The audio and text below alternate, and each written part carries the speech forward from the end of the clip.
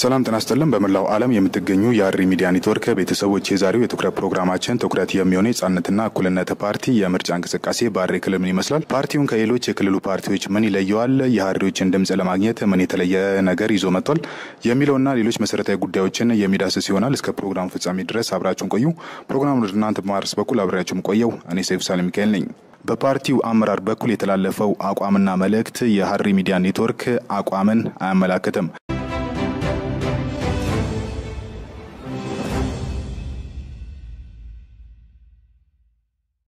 በሀረሪ ክልል በስድስተኛው ሀገራዊ ምርጫ ለመሳተፍ እየተንቀሳቀሱ ካሉ ሀገራዊ ፓርቲዎች መካከል አንዱ የነጻነትና እኩልነት ፓርቲ አንዱ ነው። የህዝቦችን የብሔር የቋንቋና የሃይማኖት ብዝሃነትን ከግምት ውስጥ በማስገባት በፖሊሲና ፕሮግራም ቀረጻ ሚዛናዊና አካታች ፖለቲካን እንከተላለን፣ የግለሰብ ወይም የቡድን መብትና ስሜትን ሊጎዱ ከሚችሉ ድርጊቶች በመራቅ የነጻነትና እኩልነት ፓርቲ የሀገሪቱ ህዝቦች ፍትሐዊ በሆነ መልኩ እንዲካተቱ ጥረት ያደርጋል ይላል ፓርቲው የፖለቲካ አቋሙን ለህዝብ ለማድረስ ያዘጋጀው በራሪ ወረቀት። ታዲያ ይህ የፖለቲካ ፓርቲው አቋም ማለትም የህዝቦች እኩልነትና ፍትሐዊ ተጠቃሚነት በሌሎች ፓርቲዎች ፕሮግራም ላይ ያሉ ሀሳቦች ናቸውና ፓርቲው ለምን አስፈላጊ ሆነ ስንል ለነጻነትና እኩልነት ፓርቲ ሀረር ቅርንጫፍ ሊቀመንበር አቶ መሀመድ ሀሰን ጥያቄ አቅርበናል። የእኛን ሀሳብና የእኛን የፖለቲካ መስመር ለህዝብ እንዲደርስ ለማድረግ እዚህ ድረስ ስለመጣችሁ እጅግ አድርገን በፓርቲያችን ስም እና በእኔ ስም እናመሰግናለን።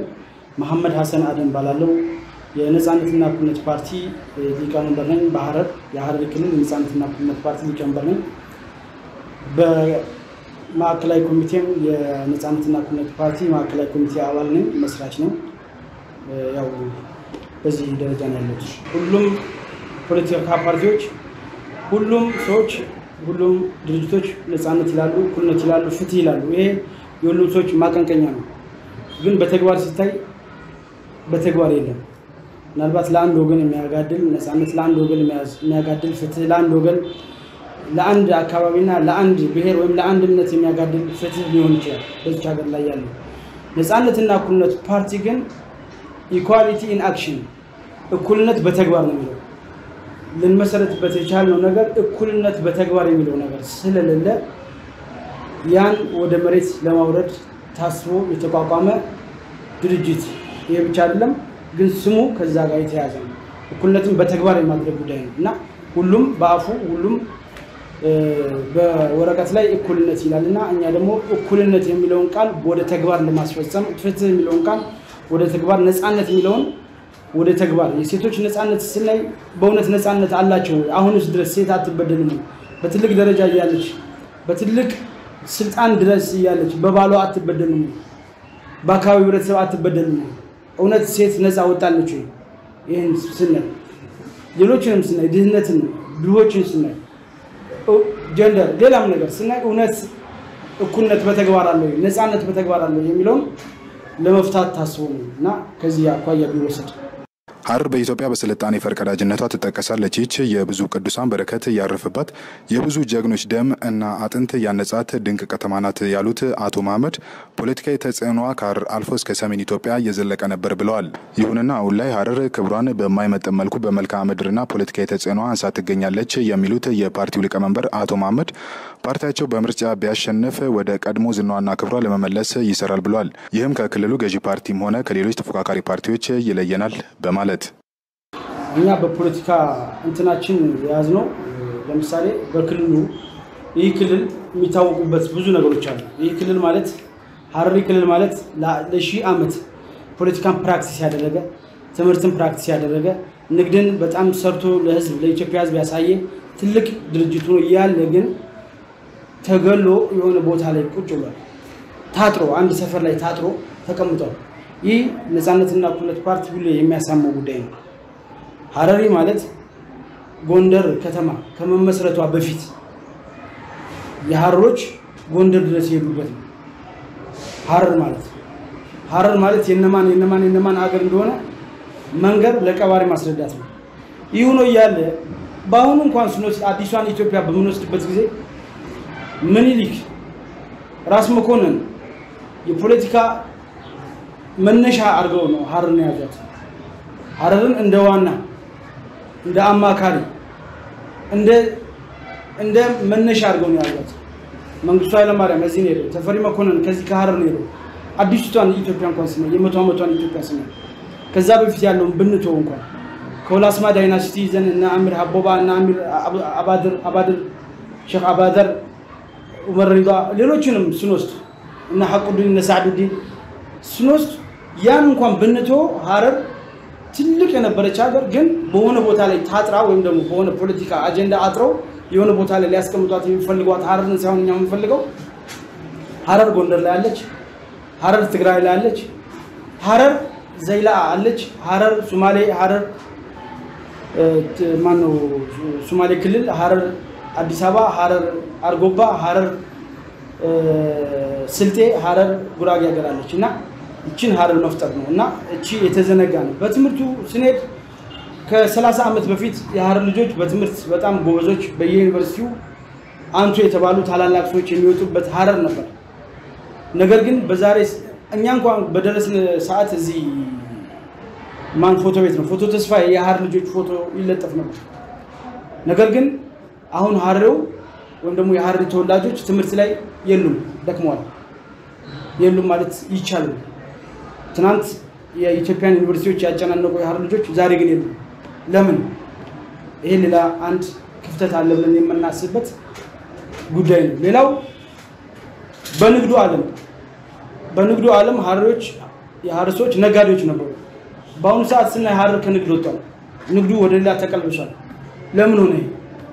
ይህም ሌላ አንድ ክፍተት ነው። ስለዚህ ይህንና ይህን የመሳሰሉ ነገሮች ክፍተቶችን ለማጥበብ እና በዚህ ዙሪያ የግድ መንግስት መሆን ብቻ አይደለም። መንግስት ሳትሆንም የፓርላማ ተወካይ ሆነ legal ground ኑሮ የሚሰሩ በጣም ብዙ ስራዎች አሉ። ስለዚህ ይህን እነዚህና እነዚህን የመሳሰሉ ስራዎችን በጋራ ሆኖ ለመስራት ነው ክፍተት አለን ብለን የምናስበው ማለት ነው። ባለፉት ጥቂት ወራት የሀረሪ ብሔረሰብ በኢፌዴሪ ህገ መንግስት የተሰጠው መብት ተገቢ አይደለም በሚል የተለያዩ አካላት እንቅስቃሴ ሲያደርጉ ቆይተዋል። የእነዚህን አካላት እኩይ ተግባር በማውገዝ ከብሔረሰቡ ጎን ከቆሙ አካላት መካከል የነጻነትና እኩልነት ፓርቲ ግንባር ቀደሙ መሆኑን አስገንዝበዋል። በዚህም ፓርቲው የሀረሪ ብሔረሰብ በህገ መንግስቱ የተጎናጸፋቸው መብቶች ሳይሸራረፉ ተግባር ላይ እንዲውሉ የበኩሉን ጥረት ሲያደርግ ቆይቷል ብለዋል። በቀጣይም ፓርቲው የሀረሪ ህዝብ ባለው ላይ የተጨማሪ መብቶች ባለቤት እንዲሆን የሚያስችል ስራ ለመስራት ቁርጠኛ ነው ሲሉም ገልጸዋል። በምርጫ ጉዳይ ላይ እኛ ማንደራደርባቸው ነገሮች አሉ። ለምሳሌ የሀረሪ ክልል affirmative action የአናሳ ክልሎች ወይም ደግሞ ብሔሮች ወይም ደግሞ በመጥፋት ላይ ያሉ ተብሎ የሚታሰቡ ይህን በጣም በእንክብካቤ ነው የምንይዘው። የሀረሪ ክልል የሀረሪ ብሔረሰብ ጉዳይ የማንደራደርበት ጉዳይ ነው። ሀረሪ ማለት ለዚች ሀገር ትልቅ አስተዋጽኦ ያደረገ ብሔር ነው። በፖለቲካው እንዳልኩ ቅድም በንግዱ በትምህርት ዘርፍ በተለያዩ ስልጣኔ حضارة የሚባለውን ደግሞ civilization ያመጣ ትልቅ ትልቅ ብሔር ነው እና ሰው ዋሊያ እንኳን ይጠብቃል። ዋሊያ ዋሊያ ማለት እንስሳ ነው። በጎንደር አካባቢ የሚኖር ዋሊያ እሱን ለመጠበቅ ቢያንስ ከአራት መቶ በላይ አባወራዎች ደባርቅ የሚባል ሀገር ላይ ተፈናቅለው ለዋሊያ ሲባል አፈናቅለው ሌላ ቦታ አስቀምጧል። አንድ ህዝብ አንድ እንግዲህ የሀረሪ ክልል እየጠፋ ያለ ወይም ደግሞ ብሔሩን ቋንቋውን ለማሳደግ ደፋ ቀና የሚል ክልል በምርጫው ላይ አሁን ባለፈው ምርጫ ላይ ካርድ affirmative action ወይም ደግሞ የሁለት መቀመጫ ምክር ቤት ላይ አንዱን መቀመጫ እንጂ አትመርጡም የተባለው ወይም ደግሞ ከሀረሪ ከተማ ውጭ ያሉ የሀረሪ ተወላጆች ይመርጡ ነበር ከዚህ በፊት በአምስት ምርጫ። ይህን እንደ ፓርቲ ተቃውመን ለምርጫ ቦርድም አስገብተን በተለያየ ፌስቡክ ገጻችን እየገለጽን ከመንግስት ጎን ነን። በዚህ ጉዳይ ላይ ገዢው መንግስት ጋር ማለትም ሀረሪን ከሚገዛው ፓርቲ ጋር በዚህ ጉዳይ አቋማችን አንድ ነው። የሀረሪ ህዝብ ሲያገኘው የነበረውን ጥቅም እንደገና የበለጠ ማግኘት አለበት እንጂ እንደገና ጥቅሙን ሊቀለበስበት አይገባም የሚል የጠና አቋም ነው ያለው ፓርቲያችን ማለት ነው። ለዚህም እኛ ፓርቲ ጋር በጣም በብዛት እየሰሩ ያሉ የስልጤ፣ የጉራጌ፣ የአናሳ ክልሎች ይህን ፓርቲ የመሰረቱት የሀረር ልጆች በስራ አስፈጻሚ ደረጃ የሀረሪ ተወላጆች ቢያንስ ሁለት ማዕከላዊ ኮሚቴ ሶስት አራት የሚሆኑ አሉ ማለት ነው። ስለዚህ እኛ እንደ ዋናነት የምንይዘው ከምርጫ በኋላ ብሔራዊ እርቅ ነው። ሀገራችንን በሰላም እንድትቀጥል በደንብ ይቺ ሀገር ሰላሟን ይዛ መቀጠል ካለባት ብሔራዊ እርቅ መደረግ አለበት። ዝም ብሎ ተውተው አንተምተው አንተምተው የሚባል ነገር ሳይሆን በስነ ስርዓት ኢሊቱ ተቀምጦ ተነጋግሮ ፖለቲከኛው ተነጋግሮ ታስረዋል የሚባሉት ሰዎችም ተፈተው የተለያየ ነገር ተፈጥሮ የጋራ ስምምነት መፈጠር አለበት። እዚች ሀገር ብሔራዊ እርቅ መደረግ አለበት። ድርጅታችን ፓርቲያችን አልፎ ምርጫ ቦታ ላይ ማን ነው የተወካዮች ምክር ቤት ቦታ ካለው አጀንዳ አድርጎ በምክር ቤቱ የሚያነሳው ጥያቄ በሀረሪ ክልል ምክር ቤት የሚሆን ከሀረሪ ክልል ምክር ቤት ውጭ የምናነሳው ጥያቄ ሁሉ የምንታገለት የመጀመሪያ ስራችን ብሔራዊ እርቅ በዚች ሀገር መደረግ አለበት ነው። ለምን አኩራፊ ሊኖር አይገባም። በዚች ሀገር ላይ አንዱ አኩራፊ፣ አንዱ በጥሩ የሚኖር አንዱ እስረኛ፣ አንዱ የተፈታ፣ አንዱ እንደፈለገ፣ አንዱ ልጅ አንዱ የእንጀራ ልጅ የሚሆንበት ስርዓት ማቆም አለበት ተብሎ ስለሚታሰብ ብሔራዊ እርቅና የሰላም ሁኔታዎች እንዲመቻቹ ነው የምናደርገው። በትምህርትና በሌሎች በርካታ ጉዳዮች የሀረሪ ብሔረሰብ ተጠቃሚ መሆን አልቻለም። በተለይም በኢኮኖሚው ዘርፍ አሁን ላይ ተግባራዊ እየሆነ ያለው የብድር አሰጣጥና የወጣቶች የስራ ዕድል ተጠቃሚነት በበርካታ ችግሮች የተተበተበ ነው የሚል እምነት ሊቀመንበሩ አላቸው። ለአብነትም የብድር አሰጣጡ ወለድ አልባ አለመሆኑ በርካታ ወጣቶች የእድሉ ተጠቃሚ ከመሆን እንዲቆጠቡ አድርጓቸዋል ይላሉ። በመሆኑም ፓርቲው ቢመረጥ ለወጣቱ ወለድ አልባ የሆነ የብድር አገልግሎት በመዘርጋት ለተጠቃሚነቱ አበክሮ እንደሚሰራ ነው የሚያረጋግጡት። እኛ አይደለንም ነፃነትና እኩልነት ፓርቲ አይደለንም። ሌላ ፓርቲ የሀረሪን ህዝብ ግንባር ቀደም ይዞ ካልተንቀሳቀሰ በኢትዮጵያ ውስጥ እንደ ፖለቲካ ይሳካልኛል ብሎ ባያስብ ይሻላል። የሀረሪ ህዝብ እንዳልኩ ቅድም ከራስ መኮንን ጀምሮ ከምኒልክ ጀምሮ ከአፄ ኃይለ ሥላሴ ከደርግ አሁንም ከኢህአዴግ አሁንም የሀረሪ ህዝብ ያስፈልጋል። አንደኛ የተሻለ ኢሊት ያለበት ነው። በዓለም አቀፍ ደረጃ ትልልቅ ምሁራን ያሉበት international ድርጅቶች የሚሰሩ በንግዱም ቢሆን እዚህ በፊት የነበሩ ታላላቅ ነጋዴዎች ያሉባት ታላላቅ ሰዎች ያሉባት እና እችን ሀገር ከመሰረቱ ሰዎች ያሉባት የሀረሪ ህዝብ ነው። ስለዚህ የሀረሪ ህዝብ አግሎ በፖለቲካው ይሳካልኛል ወይም ደግሞ ጥሩ ቦታ ደርሳል ብሎ ማሰብ አይደለም። ለነፃነትና እኩልነት ፓርቲ ለሌሎችም ፓርቲዎች የሚያዋጣ ነገር ስላልሆነ ሀረሪዎችን ለሀረሪዎች ጥቅም በየ በጀጎል ውስጥ በጣም ብዙ ስራ ፈቶች ስራ የማይሰሩ ማለት ዝም ብለው የባከነ የባከነ ጉልበት የባከነ ወጣት በጣም ብዙ አለ። ይህን ወጣት ወደ ስራ የማስገባት ስራ ቢያንስ ወደፊት በምናዘጋጀው የፋይናንስ ተቋማቶች አሉ። በዚህ ማይክሮ ፋይናንሶች አሁን በተለያየ ቦታ የጀጎልን ህዝብ ያገለለ ብድር ነው ያለው። ለምሳሌ ሪባ ያለበት ወለድ ያለበት ብድር ይሄን ፈርቶ ወጣቱ ሙስሊም ስለሆነ ይሄን ፈርቶ አንበደርም፣ ከምንበደር ከጌታችን ከአምላካችን ጋር ከምንጣላ ስራ ይቅርብን ብሎ ስራ ፈቶ የተቀመጠ ብዙ ህዝብ አለ።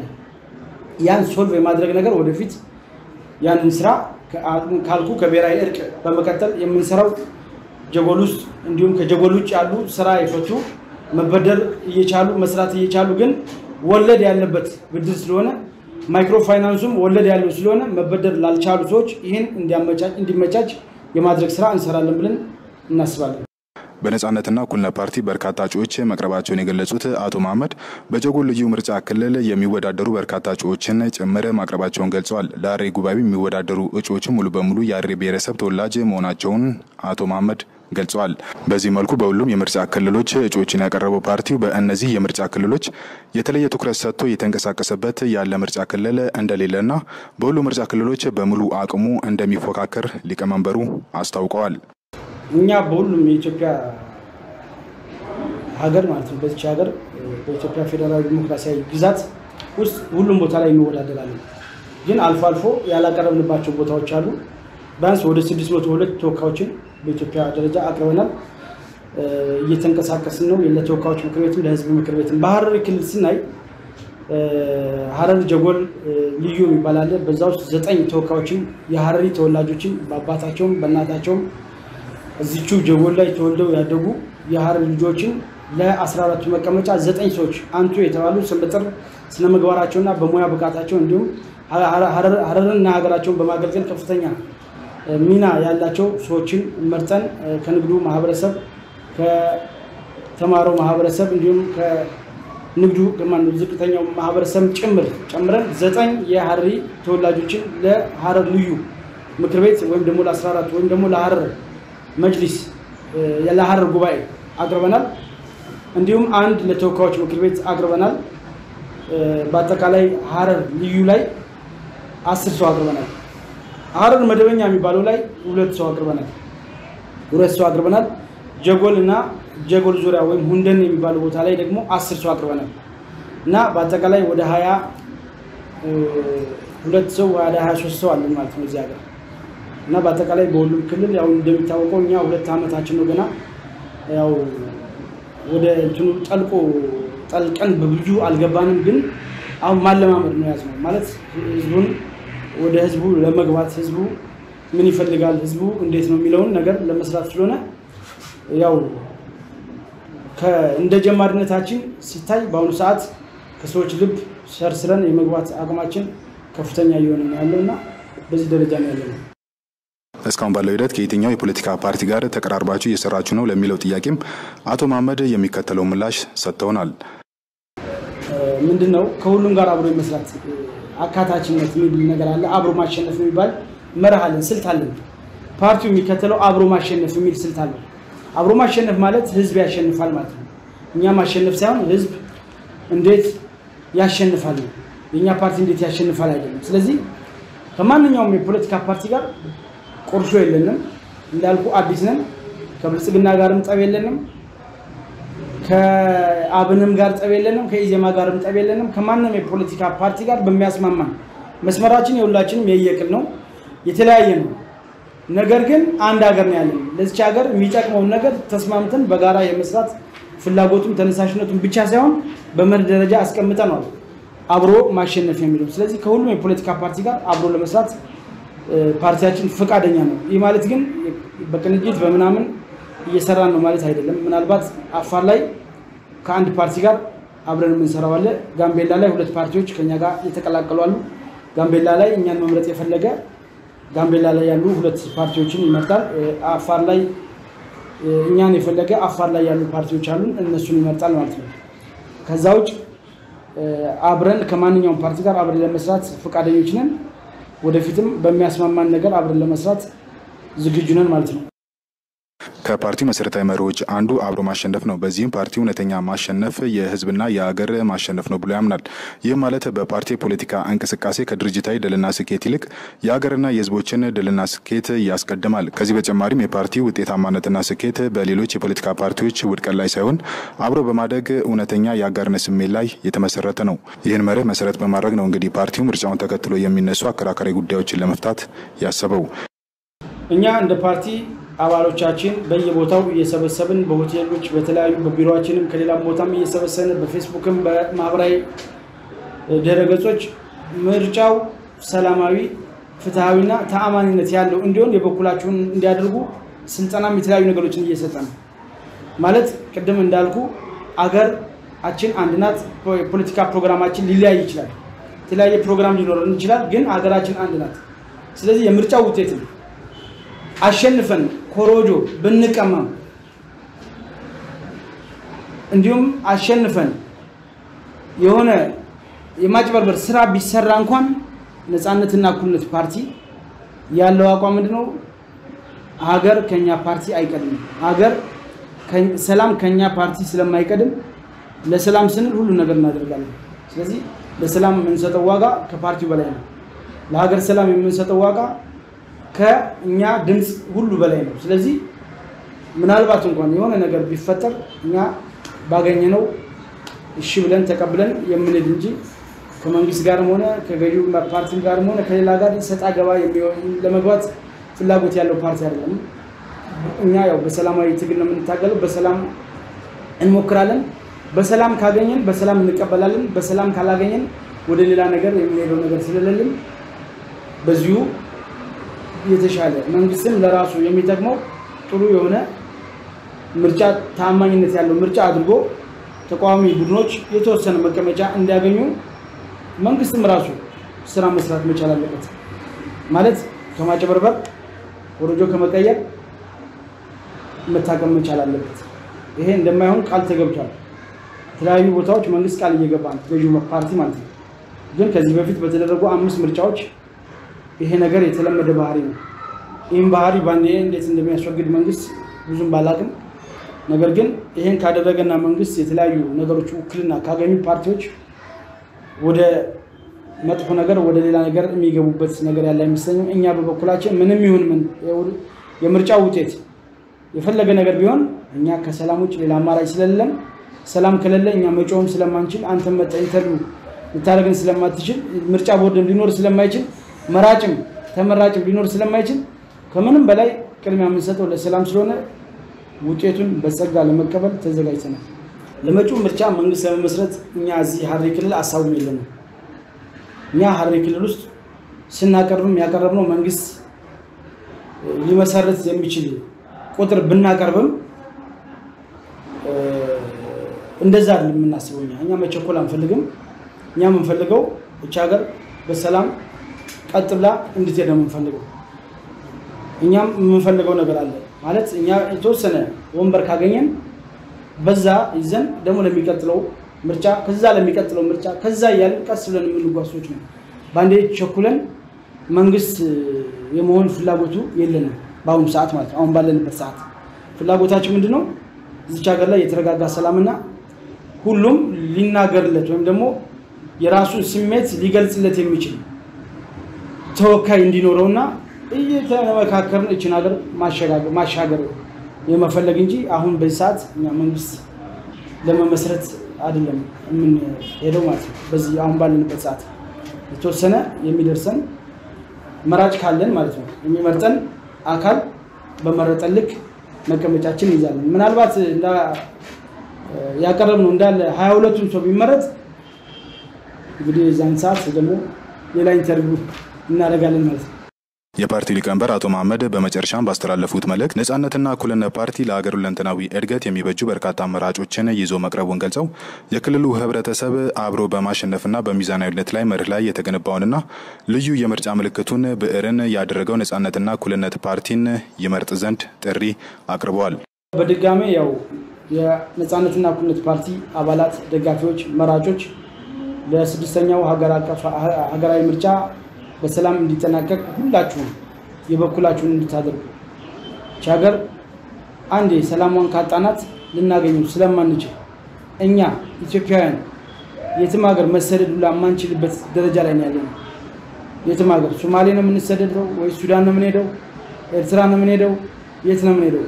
ስለዚህ በተቻለ መጠን ምርጫው ሰላማዊና ፍትሐዊ እንዲሆን ሁሉም የነፃነትና እኩልነት አባል ደጋፊ እንዲሁም ድምፃችሁን የምትሰጡን በአጠቃላይ ምርጫው ሰላማዊ እንዲሆን የበኩላችሁ እንድታደርጉ። በተጨማሪ ለሀረር ሕዝብ በአጠቃላይ ብዕርን ምረጡ። ብዕርን በብዕራችሁ ምረጡ። ብዕር ሀሳብ የሚገለጽበት ድምፃችሁን የምናሰማበት ድምፃችሁን በብዕር ብቻ በመሳሪያ በጉልበት በድንጋይ በሰልፍ በጫጫታ ሳይሆን በብዕር ብቻ ሀሳባችሁን ለመግለጽ የተዘጋጀ የተማረ ሰው ያለበት ፓርቲ ነው እና ሚዛናዊ የሆነ የማይቸኩል የማይጮህ የማይተኛ መካከለኛ ሞደርን የሆነ የፖለቲካ ፓርቲ አባላት መስራቾች ያሉበት ከነጋዴው፣ ከምሁሩ፣ ከዩኒቨርሲቲ መምህር፣ ከአርብቶ አደሩ፣ ከገበሬው ጭምር የተዋቀረ የፖለቲካ ፓርቲ አዲስ ሴራ የማያውቅ መጠላለፍ የማያውቅ አዲስ ሰዎች በፖለቲካው ዓለም ለመጀመሪያ ጊዜ የሚሳተፉ ከቁርሾ ከጥሎ ማለፍ ነፃ የሆኑ ሰዎች ስለሆኑ ከነዚህ ጋር ብትሳተፉ ብዕርን ብትመርጡ የተሻለ ነገር ልታገኙ ትችላላችሁ የሚል ለማቅረብ ነው የምፈልገው። እኛ አድራሻችን ይሄ የምታዩት ቢሮ የኛ ቢሮ ነው። ሸካ ህንፃ ማልቴስ ፊት ለፊት ሁለተኛ ፎቅ ላይ እዚህ ነው የምንገኘው። እንግዲህ ያው እዚህ ነው አድራሻችን ነው። አዲስ አበባ ከፈለጋችሁ ብስራተ ገብርኤል ወይም ደግሞ ግሎባል ህንፃ ፒያሳ አለን። ሁሉም ክልሎች ዛሬ ቢሮ አለን። ሁሉም ቦታ ላይ በአሁኑ ሰዓት ክልል አለ ማነው ቢሮዎች አሉን። አድራሻችን በፌስቡክ በማህበራዊ ድረገጽ በፓርቲው ድረገጽ አለ። እዛ ላይ በደንብ ታገኙናላችሁ። ውድ በመላው ዓለም የምትገኙ የሀረሪ ሚዲያ ኔትወርክ ቤተሰቦች በነጻነትና እኩልነት ፓርቲ ዙሪያ ያዘጋጀነው ፕሮግራም የተከታተላችሁትን ይመስል ነበር። በፓርቲው አመራር በኩል የተላለፈው አቋምና መልእክት የሀረሪ ሚዲያ ኔትወርክ አቋምን አያመላክትም። በቀጣይ ቀናት የሌሎች ፓርቲዎችን አቋም ይዘንላችሁ የምንቀርብ ነው የሚሆነው። ፕሮግራሙን ወደ እናንተ በማድረስ በኩል አብሬያቸው የቆየሁት እኔ ሰይፉ ሳል ሚካኤል ነበርኩኝ። ጊዜያችሁን ሰጥታችሁ ስለተከታተላችሁ እናመሰግናለን። መልካም ጊዜ ይሆንላችሁ።